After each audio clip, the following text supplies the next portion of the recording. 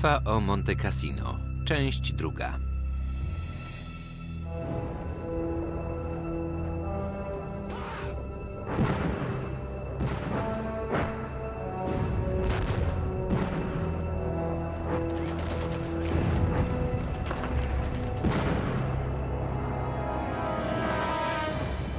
Początku września 1943 roku brytyjska ósma armia marszałka Montgomery'ego była gotowa do rozpoczęcia kolejnej wielkiej kampanii.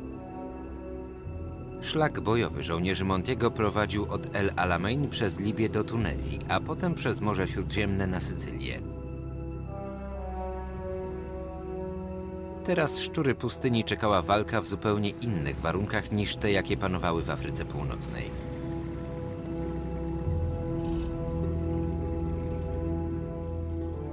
3 września oddziały 8 Armii przeprawiły się przez cieśninę messyńską i wylądowały w pobliżu miasta Reggio. Sześć dni później kolejne brytyjskie jednostki wylądowały na wschodzie, zajmując Tarent i Brindisi. Gdy oba elementy 8 Armii połączyły się i ruszyły na północ, rozpoczęła się kampania apenińska.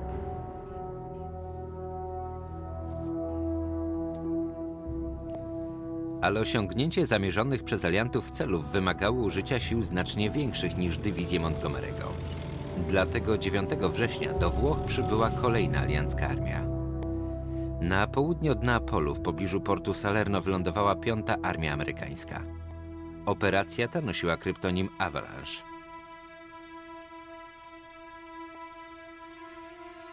Celem operacji było zdobycie przyczółka na wybrzeżu, z którego możliwe byłoby wyprowadzenie uderzenia na północ. Po zajęciu Neapolu obie alianckie armie miały się połączyć i kontynuować natarcie w stronę Rzymu i północnych Włoch. Gdy flota amerykańskich okrętów desantowych zbliżała się już do wybrzeża, wielu ze znajdujących się na ich pokładach żołnierzy było przekonanych, że czeka ich łatwe zadanie – na kilka godzin przed rozpoczęciem operacji radio nadało komunikat o kapitulacji Królestwa Włoch. Mussolini utracił władzę i znalazł się w areszcie domowym. Wkrótce Włochy miały przystąpić do wojny po stronie aliantów. Mimo, że informacja o kapitulacji Włoch wywołała euforię wśród alianckich żołnierzy, tych, którzy spodziewali się łatwego zwycięstwa, czekało rozczarowanie. Na Półwyspie Apenińskim wciąż znajdowały się znaczne niemieckie siły. Już po kilku godzinach od rozpoczęcia operacji Amerykanie zrozumieli, że opanowanie Włoch będzie wymagało wiele wysiłku. 9 września 1943 roku można uznać za początek jednej z najcięższych i najbardziej krwawych kampanii II wojny światowej. Wieczorem 8 września 1943 roku amerykański generał Mark Clark przygotowywał się do najważniejszej chwili w jego życiu. Dowodzona przez niego piąta armia miała wylądować pod Salerno. W skład armii wchodziły dwa korpusy, brytyjski 10 i amerykański 6. Była to największa operacja desantowa przeprowadzona przez aliantów od chwili rozpoczęcia II wojny światowej.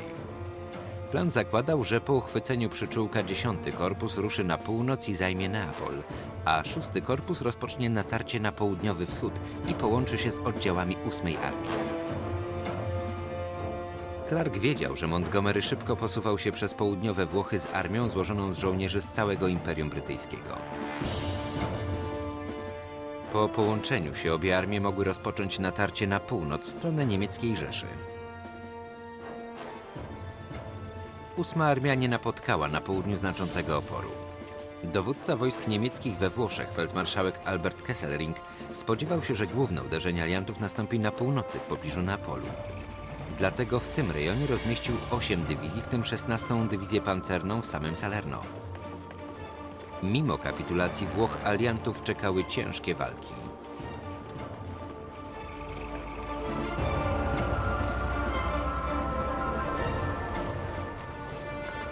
Szczególnie zaciekły opór napotkały oddziały amerykańskiego 6 Korpusu, który przed świtem 9 września wylądował w pobliżu Salerno. Do wieczora, po odparciu licznych kontrataków niemieckich czołgów Piątej Armii udało się opanować tylko cztery niewielkie przyczółki na włoskim wybrzeżu. 11 września na brzegu były już cztery alianckie dywizje, ale naprzeciwko nich stało już pięć dywizji pancernych z niemieckiej 10 Armii.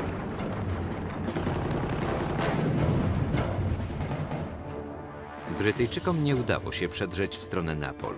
Także Amerykanie nie byli w stanie przebić się na południowy wschód. Wkrótce Piąta Armia znalazła się w poważnych kłopotach. Generał Clark zadecydował, że alianckie dywizje wylądują wzdłuż 50-kilometrowego odcinka wybrzeża. Oznaczało to, że były zbytnio rozciągnięte i nie mogły się wzajemnie wspierać. 12 września dywizje pancerne Kesselringa ruszyły do kontrataku, który na odcinku rzeki Sele omal nie zakończył się rozcięciem alianckiego przyczółka na pół. Przez chwilę Mark Clark zastanawiał się nad wycofaniem armii. Jednak gdyby podjął taką decyzję w kilka dni po kapitulacji Włoch, miałaby ona katastrofalny wpływ na pozycję aliantów w wojnie. Kryzys udało się jednak zażegnać dzięki wsparciu alianckich okrętów i lotnictwa. Niemieckie kontrnatarcie załamało się pod gradem bomb i pocisków. Wieczorem 14 września niemiecki dowódca wydał swoim dywizjom rozkaz wycofania się na północ. Przyczółek pod Salerno był bezpieczny. Sześć dni później oddziały 5 Armii generała Clarka połączyły się pod Ponte Sele z 8 Armią Montgomery'ego. 5 października alianckie wojska wkroczyły do Neapolu. Pierwszy cel kampanii włoskiej został osiągnięty.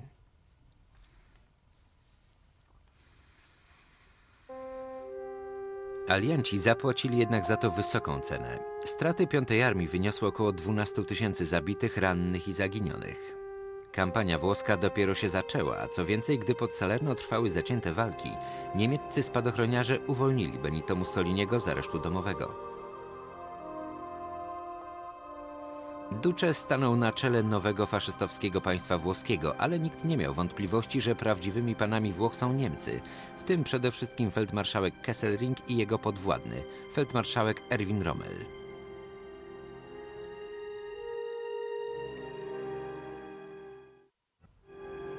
Kesselring opracował plan obrony Włoch przed aliancką inwazją. Po dyskusji z Hitlerem dowódca wojsk niemieckich we Włoszech postanowił wycofać swoje oddziały z południowej części kraju i skoncentrować je na północy. Tam dzięki szeregowi linii umocnień mogłyby skutecznie powstrzymać ofensywę aliantów.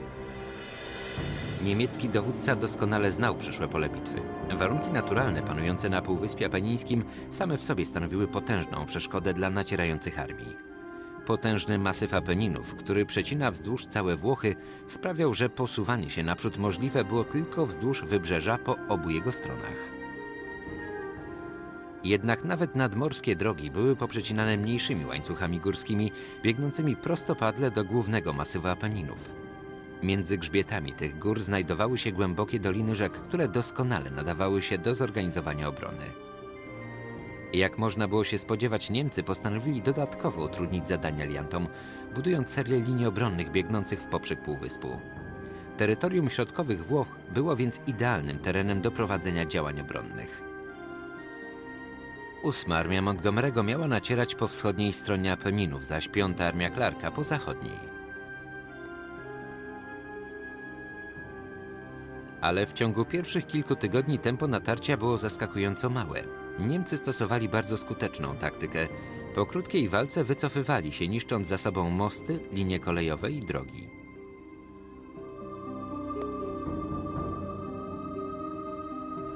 Kesselring wiedział jednak, że prędzej czy później alianckie armie dotrą do potężnej naturalnej przeszkody, która zatrzyma ich natarcie. Przeszkodę tę stanowiły liczne masywy górskie biegnące w poprzek półwyspu 160 km na południe od Rzymu, które tworzyły doskonałe warunki do obrony. Alianci zdawali sobie sprawę, że będą mogli przełamać tę linię tylko w pobliżu wzgórza znajdującego się w odległości 30 km od wybrzeża Morza Tyreńskiego. Tylko zdobycie tego wzgórza otwierało im drogę do Doliny Lirii, którą biegła główna droga do Rzymu. Wzgórze nosiło nazwę Monte Cassino. Monte Cassino było wymarzoną pozycją do obrony. Jego wartość dostrzeżono już na długo przed wybuchem II wojny światowej. W 529 roku święty Benedykt postanowił wznieść na szczycie góry klasztor, który mimo licznych wojen i oblężeń przetrwał do lat 40. XX wieku. Jak można było się spodziewać, Niemcy stworzyli w tym miejscu potężną linię obronną, biegnącą w poprzek półwyspu. Jeszcze gdy na Sycylii trwały zaciekłe walki, feldmarszałek Kesselring wydał rozkaz budowy licznych pól minowych, bunkrów i stanowisk artylerii. Do końca roku prace te zostały ukończone.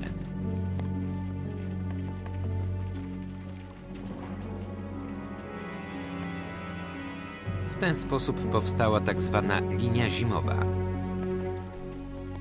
biegnąca od Minturno do San Vito.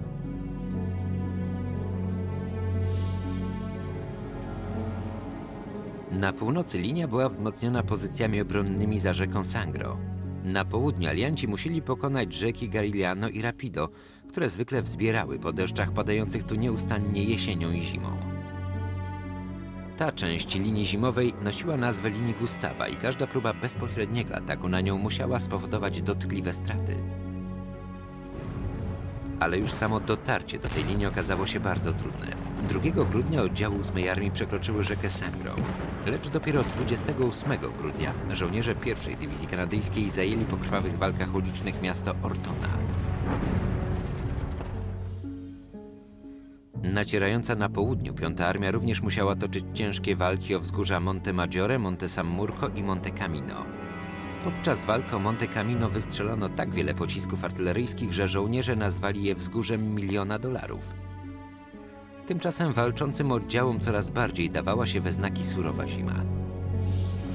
Pod koniec roku natarcie obu alianckich armii utknęło. Żołnierze obu stron spędzili ponure święta Bożego Narodzenia na patrolach w deszczu. Piąta armia zatrzymała się nad rzekami Rapido i Garigliano i kampania włoska przekształciła się w wojnę pozycyjną.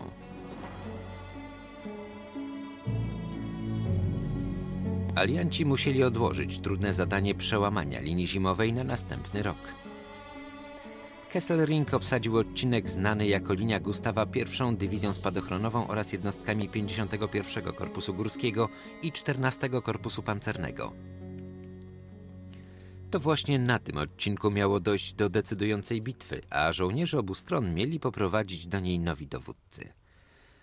W grudniu Eisenhower został przeniesiony do Wielkiej Brytanii, by wziąć udział w przygotowaniach do inwazji w Normandii.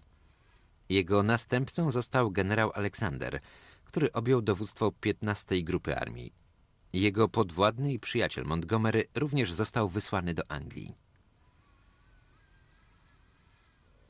Dowództwo 8 Armii objął po nim generał Oliver Lees.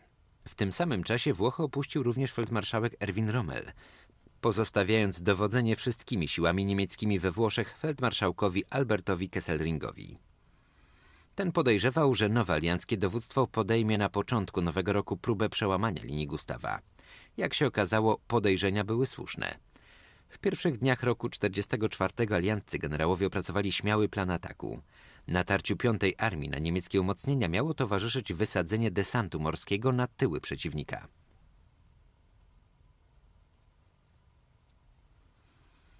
Gdyby plan się powiódł, niemieckie oddziały broniąc rejonu Cassino zostałyby wzięte w kleszcze, a droga do kolejnego celu kampanii, Wiecznego Miasta, stanęłaby otworem przed alianckimi wojskami. Jak się miało okazać, realizacja tego planu miała doprowadzić do dwóch najbardziej zaciekłych bitew na froncie zachodnim o Anzio i Monte Cassino.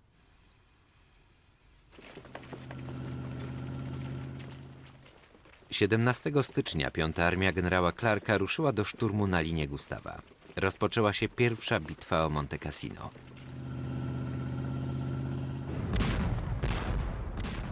Gdyby Clark wiedział, że będzie to pierwsza z czterech niezwykle krwawych bitew o wzgórze, być może zmodyfikowałby swój plan przełamania linii Gustawa.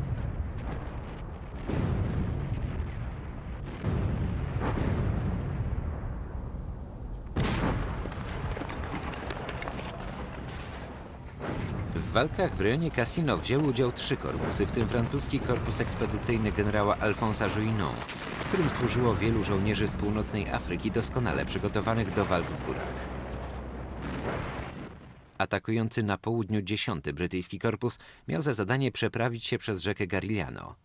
Mimo trudnych warunków atmosferycznych i silnego oporu nieprzyjaciela, Brytyjczykom udało się sforsować przeszkodę wodną i utworzyć na drugim brzegu przyczółek o głębokości 3 kilometrów. Jednak gdy alianccy żołnierze ruszyli do ataku na masyw Monte Mayo, natarcie stanęło w miejscu. Na północy amerykański drugi korpus miał za zadanie sforsować rwącą rzekę Rapido. Wkrótce żołnierze teksańskiej 36. Dywizji Piechoty przekonali się, że przeprawa przez bezbranną rzekę pod ogniem niemieckich karabinów będzie trudniejsza niż przypuszczali. Mimo przeciwności udało im się zdobyć niewielki przyczółek na jej drugim brzegu. Jednak już po dwóch dniach zdziesiątkowane oddziały dywizji były zmuszone wycofać się za rzekę.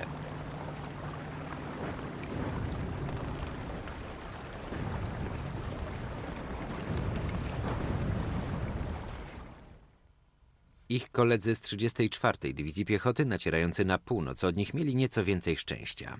Amerykanom udało się zbliżyć do klasztoru na odległość kilkuset metrów, nie zdołali jednak utrzymać tych pozycji.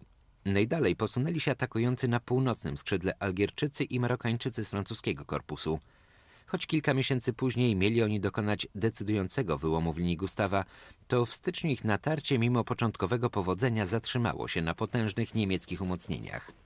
Gdy 11 lutego alianci zrezygnowali z kontynuowania natarcia, było jasne, że w ciągu ostatnich kilkunastu dni walk ponieśli niezwykle wysokie straty. Bezpośredni atak na linię Gustawa zakończył się niepowodzeniem, ale nie lepiej powiodło się oddziałom, które wylądowały na tyłach wroga. 22 stycznia w pobliżu wioski Ancio na wybrzeżu Morza Trojańskiego wylądowały alianckie oddziały. W ciągu pierwszego dnia operacji na brzeg wysadzono 36 tysięcy żołnierzy, którzy nie napotkali praktycznie żadnego oporu nieprzyjaciela. Tym rejonie znajdowało się tylko kilka niemieckich batalionów, które wycofały się na wiadomość o pojawieniu się dużych sił nieprzyjaciela.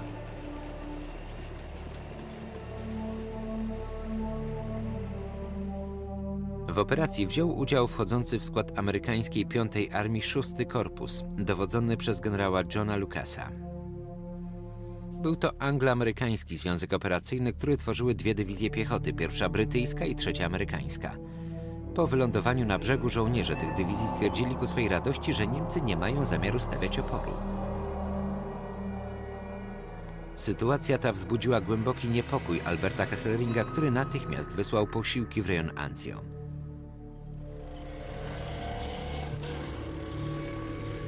W dzień po wylądowaniu generał von Mackensen objął dowództwo 14 Armii, której zadaniem było powstrzymanie aliantów. Armia miała składać się z dywizji ściągniętych z Bałkanów i Francji, a także z innych rejonów Włoch. Jednak dotarcie na miejsce zajęło tym siłom kilka dni. W tym czasie generał Lucas mógł wysłać swoje oddziały z przyczółka i właściwie bez walki dotrzeć do autostrad numer 6 i 7, w ten sposób szósty korpus przeciąłby linię zaopatrzenia 10 Armii Niemieckiej i otworzył głównym siłom alianckim drogę na Rzym.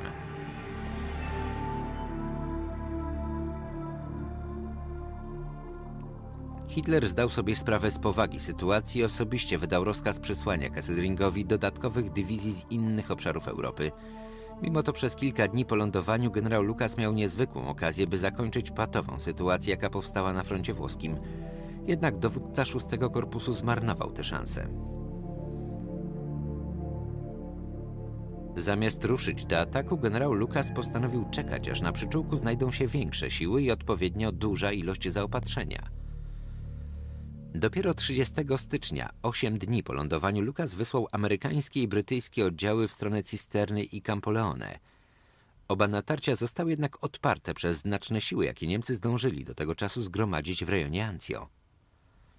Następnego dnia aliancki przyczółek był już otoczony przez osiem niemieckich dywizji i szansa na szybkie zwycięstwo we Włoszech została bezpowrotnie stracona. Churchill, który był jednym z autorów tego planu, nie krył swojej wściekłości i rozczarowania. Szczególnie wzburzyła go bierność amerykańskiego generała. Później skomentował to w następujący sposób. Mieliśmy nadzieję, że wysadzimy na brzeg tygrysa, tymczasem okazało się, że to wieloryb. Jednak najgorsze miało dopiero nadejść. 6 lutego niemiecka 14 armia przystąpiła do stopniowego likwidowania przyczółka, spychając szósty korpus w stronę morza. Aliantom uwięzionym na plażach szczególnie dało się we znaki potężne niemieckie działo.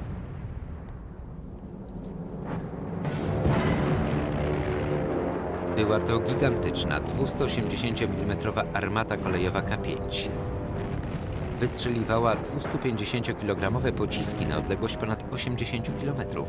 Niemcy nazwali ją Leopold, zaś aliantce żołnierze nadali jej przydomek Anzio Eni.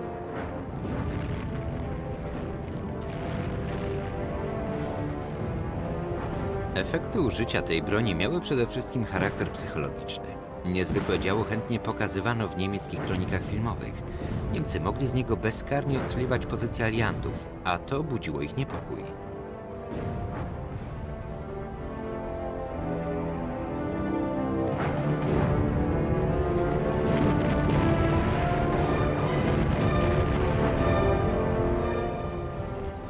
16 lutego 6 Korpus znalazł się w niezwykle trudnym położeniu.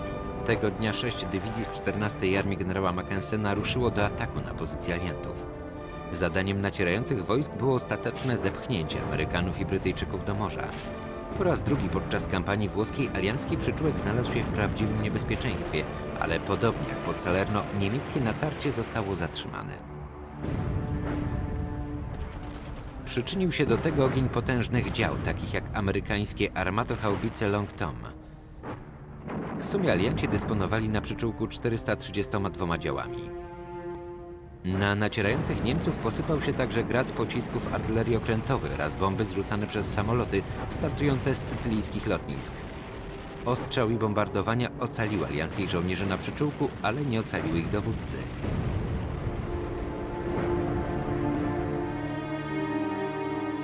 22 lutego, trzy dni po odparciu niemieckiego ataku, generał John Lucas został pozbawiony dowództwa 6 Korpusu. Następcą został generał Lucien Truscott. Jednak nowy dowódca nie był w stanie naprawić błędów popełnionych przez poprzednika. Alianckie oddziały były zamknięte na niewielkim obszarze wokół Ancją. Pierścień niemieckich wojsk uniemożliwiał im przedarcie się w głąb lądu. Alianci mogli tylko trwać na swoich pozycjach i znosić bezustanny ostrzał niemieckiej artylerii. Po nieudanej próbie przełamania linii Gustawa, zdziesiątkowany drugi korpus amerykański został wycofany z linii i zastąpiony drugim korpusem nowozelandzkim. Złożonym z dywizji nowozelandzkiej, brytyjskiej i hinduskiej. Korpusem dowodził generał Bernard Freiberg. Freiberg był legendarnym nowozelandzkim oficerem, który wyróżnił się podczas kampanii w Afryce Północnej. Był także weteranem I wojny światowej, za udział w której został odznaczony Krzyżem Wiktorii. Przejmując odcinek drugiego korpusu amerykańskiego, Freiberg zamierzał przeprowadzić natarcie na miasteczko Cassino, wzgórzem Monte Calvario i samo Monte Cassino. Głównym problemem pozostawał jednak potężny klasztor stojący na szczycie wzgórza. Zgodnie z międzynarodowym prawem liczący 1400 lat zabytek nie mógł być uznany za cel o znaczeniu militarnym. Niemcy twierdzili, że respektują nakazy prawa i pod koniec 1943 roku wywieźli z klasztoru dzieła sztuki i inne cenne przedmioty. Niemieccy propagandziści bezwstydnie wykorzystali te akcje, by przedstawić Wehrmacht jako jedynego strażnika dziedzictwa kultury chrześcijańskiej. Działania aliantów zdawały się potwierdzać tę opinię. Freiberg był przekonany, że w klasztorze znajdują się niemieccy obserwatorzy kierujący ogniem artylerii i stwierdził, że musi on zostać zniszczony, zanim jego żołnierze ruszą do ataku. Gdy generał Aleksander zgodził się z jego zdaniem, los klasztoru został przesądzony.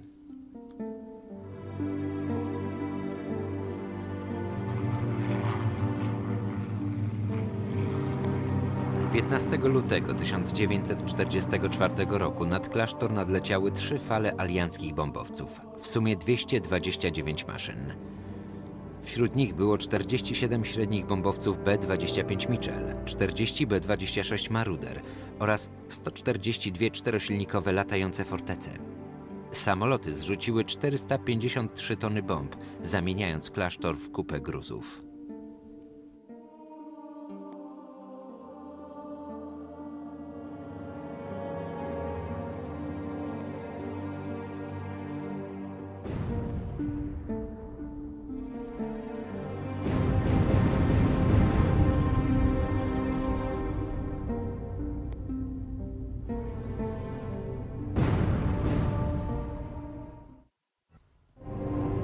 Załogi bombowców bezbłędnie wykonały swoje zadanie, ale zniszczenie klasztoru okazało się katastrofalnym w skutkach błędem.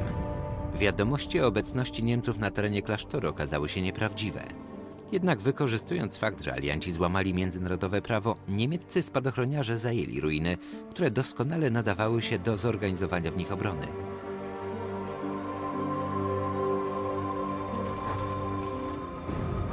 Następnego dnia po bombardowaniu do ataku ruszyli żołnierze z drugiego korpusu nowozelandzkiego.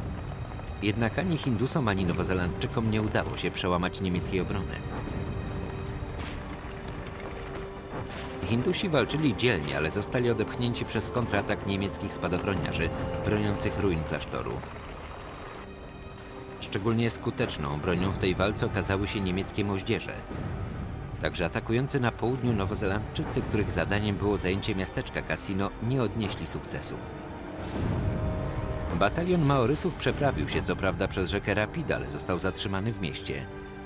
Choć dzięki gęstej zasłonie dymnej udało im się zająć stację kolejową, brakowało im wsparcia czołgów.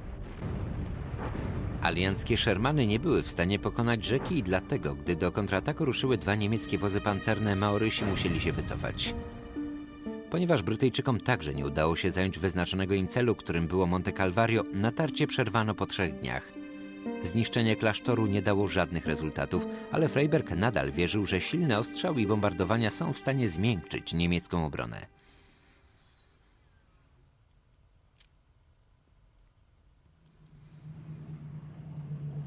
Potężne bombardowanie z 15 lutego było niczym w porównaniu z atakiem, jaki alianckie lotnictwo przeprowadziło dokładnie miesiąc później.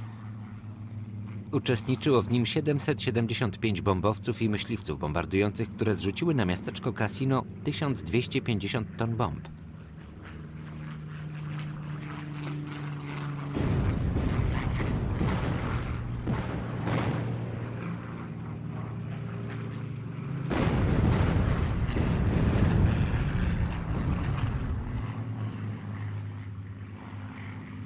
Natychmiast po zakończeniu bombardowania ogień otworzyło 750 dział, które w ciągu dwóch godzin wystrzeliły na obszar o szerokości 1,5 km 195 tysięcy pocisków.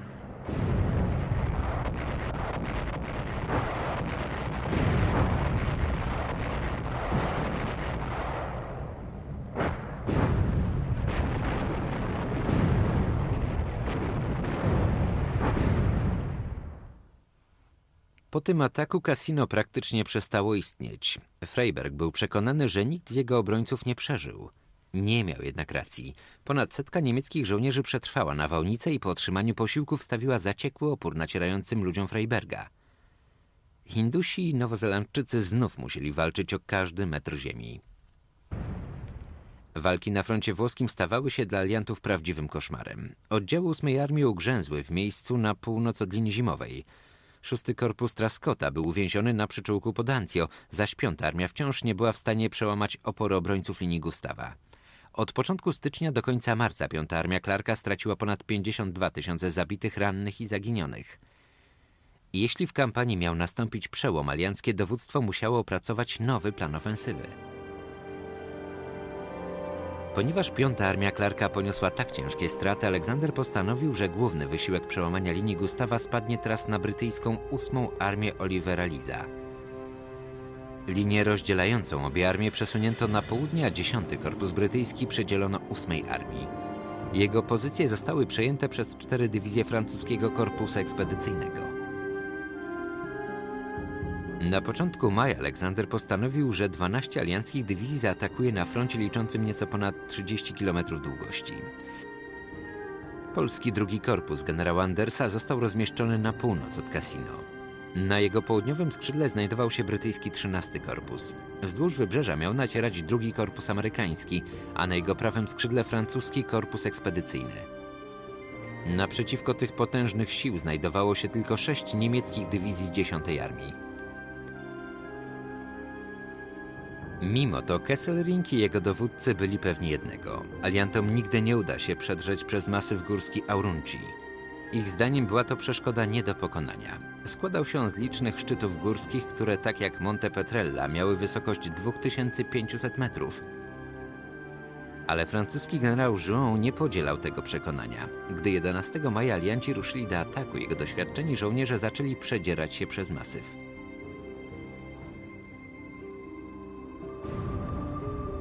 Jak zwykle natarcie rozpoczęło się od potężnego ostrzału artyleryjskiego. Wkrótce po nim Polacy ruszyli do ataku na kasino. Jednak Niemcy stawili zaciekły opór, zadając dywizjom Andersa poważne straty. Tymczasem na południe od Monte Cassino Brytyjczycy bezskutecznie próbowali wedrzeć się do doliny rzeki Liri. Na odcinku 5 Armii natarcie rozwijało się bardziej pomyślnie. W ciągu dwóch dni, mimo oporu oddziałów 14 Korpusu Pancernego, Amerykanie wyraźnie zbliżyli się do Formii. Jednak decydujące znaczenie miał sukces odniesiony przez żołnierzy francuskiego korpusu ekspedycyjnego. 13 maja zajęli oni Monte Mayo. Dwa dni później żołnierze z górskich oddziałów kolonialnych opanowali Monte Petrella. Przed Francuzami stanęła otworem droga do Doliny Liri i na tyły niemieckich oddziałów broniących linii Gustawa. Był to wspaniały sukces i Kesselring zrozumiał, że nadszedł czas na kolejny odwrót. Gdy 18 maja Polacy dotarli na szczyt Monte Cassino, nie zastali tam już Niemców. Po czterech miesiącach walk ruiny klasztoru w końcu znalazły się w rękach aliantów.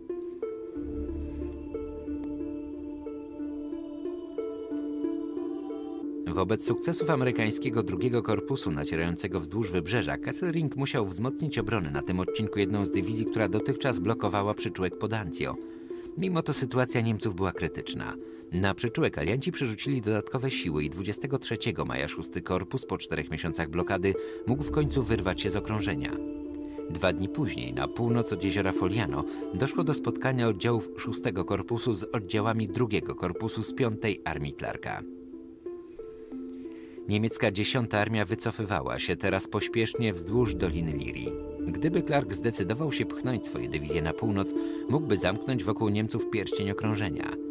Alianci mieli szansę na zadanie przeciwnikowi dotkliwego ciosu, jednak generał Clark miał zupełnie inne plany. Dowódca 5 Armii wysłał na północ tylko jedną dywizję, zaś resztę swoich sił skierował w stronę Rzymu. Mieszkańcy Rzymu szaleli z radości. Clarkowi przypadła zaszczytna rola wyzwoliciela wiecznego miasta. Jednak śpiesząc się do Rzymu, Clark zaprzepaścił szansę na zadanie decydującej klęski niemieckim siłom we Włoszech. Gdy amerykański generał przyjmował gratulacje, Kesselring organizował odwrót swoich wojsk na kolejną linię umocnień.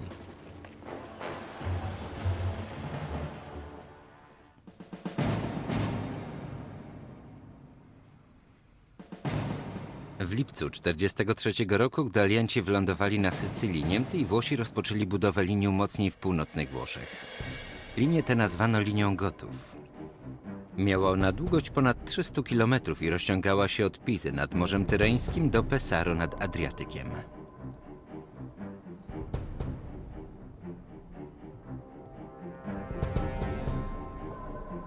Gdy generał Clark zajmował Rzym, umocnienia nie były jeszcze gotowe. Hitler osobiście interweniował, aby przyspieszyć pracę nad ich budową. Między czerwcem a sierpniem 1944 roku niemieccy oraz włoscy inżynierowie i robotnicy w błyskawicznym tempie rozbudowywali linię gotów. W efekcie powstał potężny pas umocnień o głębokości 15 kilometrów.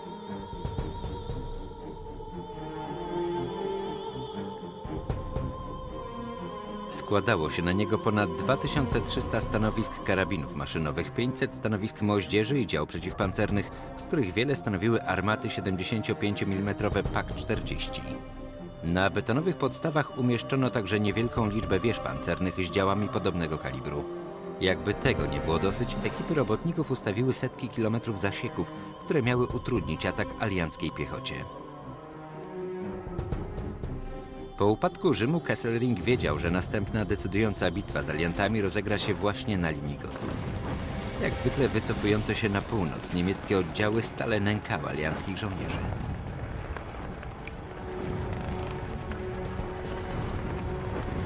Gdy w połowie sierpnia 1944 roku wojska Kesselringa zajmowały nowe pozycje obronne, ich dowódca wiedział, że kampania we Włoszech jeszcze się nie zakończyła.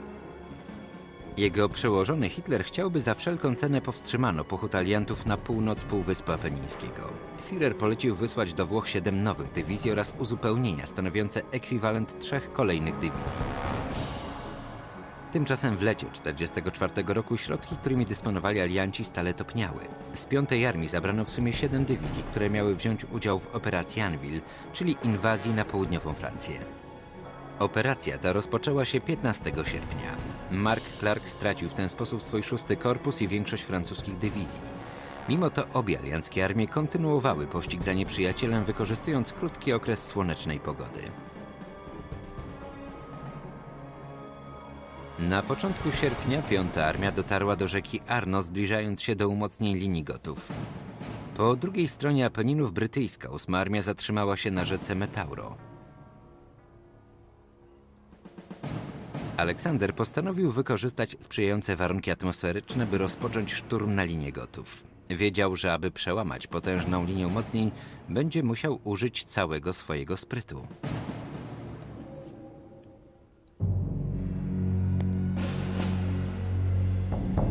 Szturm na linię Gotów.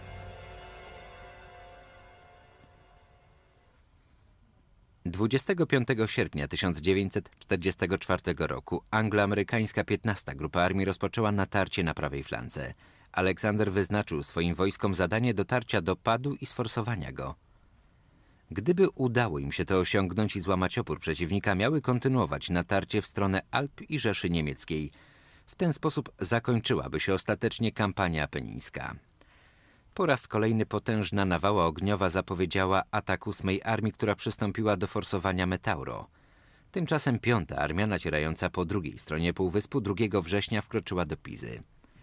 Kesselring wciąż nie wiedział, która z alianckich armii ma wykonać główne uderzenie. Przypuszczał jednak, że alianci wiążą swoje plany z postępami piątej armii. Jednak w rzeczywistości żadne z tych natarć nie było głównym uderzeniem, na które czekał niemiecki dowódca. Gdy po obu stronach Apeninów trwały walki, Aleksander skoncentrował większość sił ósmej armii na wąskim odcinku frontu na północ od Ancony. Wymagało to przesunięcia na wybrzeże ośmiu dywizji wraz z 80 tysiącami pojazdów.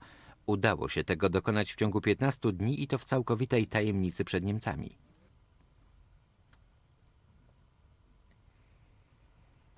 12 września rozpoczęło się główne uderzenie na linię gotów. 20 września 8 Armia, na czele której posuwał się pierwszy korpus kanadyjski, przerwała niemiecką linię obrony. Tego samego dnia greckie oddziały wkroczyły do Rimini, ale dowodzący kanadyjskim korpusem nowozelandczyk Bernard Freiberg nie zamierzał tracić czasu i parł na północ, by wykorzystać odniesiony sukces.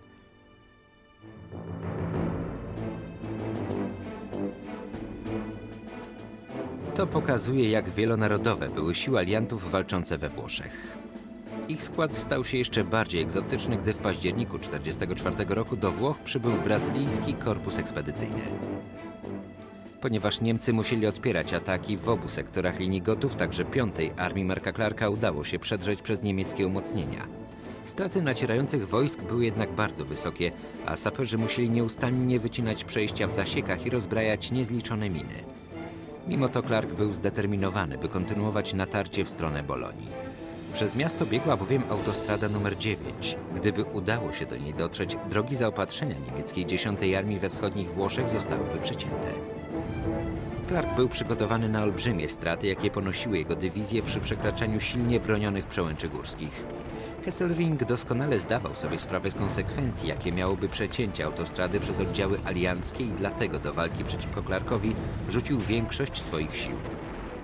Wkrótce naprzeciwko piątej armii Clarka znalazło się pięć niemieckich dywizji pancernych i w połowie października natarcie aliantów stanęło. Niemcy stawiali zaciekły opór, ale w zatrzymaniu aliantów ważną rolę odegrały także warunki atmosferyczne. Pod koniec września w północnych Włoszech zaczynają padać ulewne deszcze.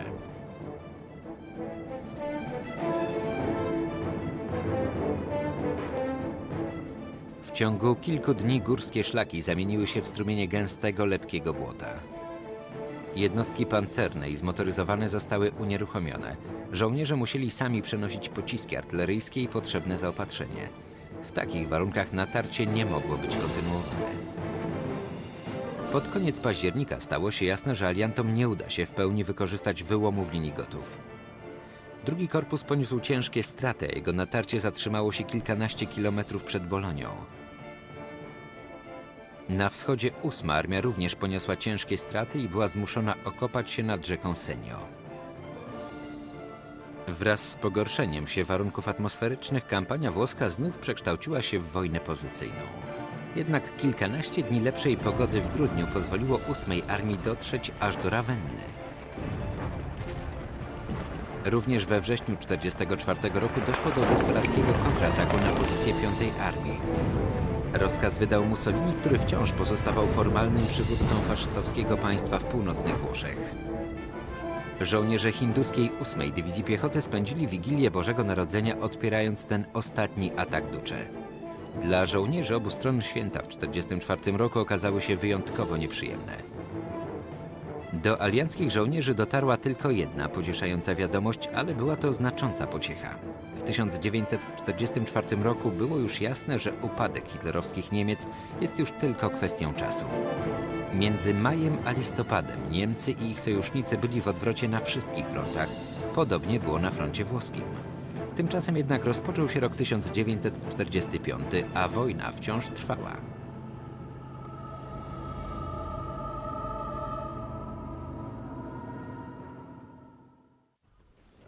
Zimą 1945 roku morale alianckich żołnierzy było bardzo niskie. Powodowała to zła pogoda, brak widocznych sukcesów i częste zmiany na stanowiskach dowódców. Generał Harold Alexander stał się feldmarszałkiem Aleksandrem i został naczelnym dowódcą Śródziemnomorskiego Teatru Działań. Dowództwo 15 Grupy Armii objął generał Mark Clark, którego piąta armia została przekazana generałowi Trascottowi. Dowódcą 8 armii został generał Richard McCreary, mianowany na miejsce Olivera Liza, który został dowódcą wojsk lądowych w Azji Południowo-Wschodniej. Ale najważniejsza zmiana na stanowiskach dowódczych nastąpiła w marcu 1945 roku. Albert Kesselring został mianowany dowódcą wojsk niemieckich na zachodzie, a stanowisko po nim objął dotychczasowy dowódca 10 armii, generał Wittinghoff. 1 kwietnia 1945 roku wraz z nadejściem wiosny zakończył się okres wojny pozycyjnej na froncie włoskim. Tego dnia brytyjscy komandosi przeprowadzili udany atak na niemieckie pozycje wokół jeziora Comacchio. Była to śmiała akcja, która odciągnęła uwagę Niemców od głównego uderzenia 8 Armii na Ferrare, które przeprowadzono przez wąski pas suchego lądu w pobliżu Argenty. Poprawa pogody umożliwiła aliantom wykorzystanie miażdżącej przewagi w powietrzu i 14 kwietnia oddziały alianckie dotarły w rejon Argenty. W tym momencie główny wysiłek lotnictwa został przeniesiony na sektor 5 Armii, która wznowiła właśnie szturm na Bolonię. Miasto, którego jej żołnierzom nie udało się zdobyć przed kilkoma miesiącami. Jednak tym razem nic nie było w stanie powstrzymać natarcia. 21 kwietnia oddziały II Korpusu Polskiego wkroczyły do Bolonii, spychając Niemców w stronę rzeki Pad, na której wszystkie mosty zostały wcześniej zniszczone przez alianckie lotnictwo.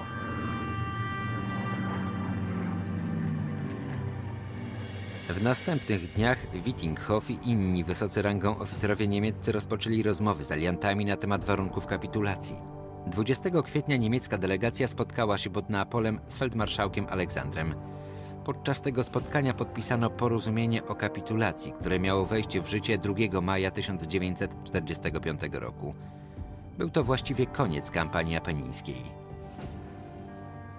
Na dzień przed spotkaniem Mussolini został zastrzelony przez partyzantów, a jego ciało powieszono na dachu stacji benzynowej w Mediolanie. W dzień po podpisaniu porozumienia w sprawie kapitulacji Adolf Hitler popełnił samobójstwo, chcąc uniknąć podobnego upokorzenia. Dwa dni później wojna na froncie włoskim dobiegła końca. Podróż z Reggio na dalekim południu do równin północnych Włoch trwała ponad 20 miesięcy.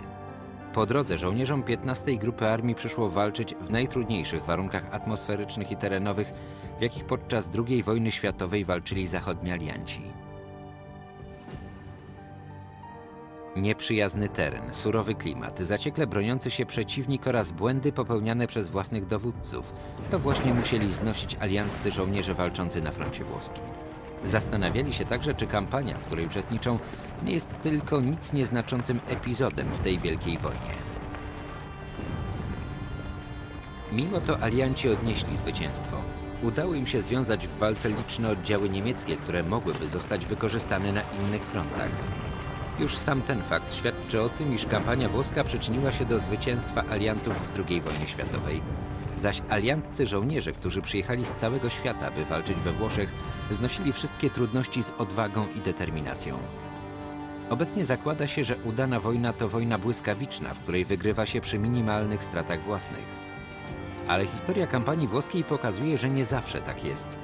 Czasami zwycięstwo wymaga czasu, ofiar i poświęceń. Jednak zwycięstwo zawsze pozostaje zwycięstwem, o czym przekonali się żołnierze, którzy uczestniczyli w ciężkich walkach podczas tej jednej z najbardziej intrygujących kampanii II wojny światowej. Jutro w Polach Bitew historia walk na niemieckiej linii Zygfryda. Więcej informacji o naszych programach znajdą Państwo w internecie na stronie discoverychannel.pl. Nocny program na Discovery trwa dalej, ale dla mnie to już pora, by powiedzieć dobranoc.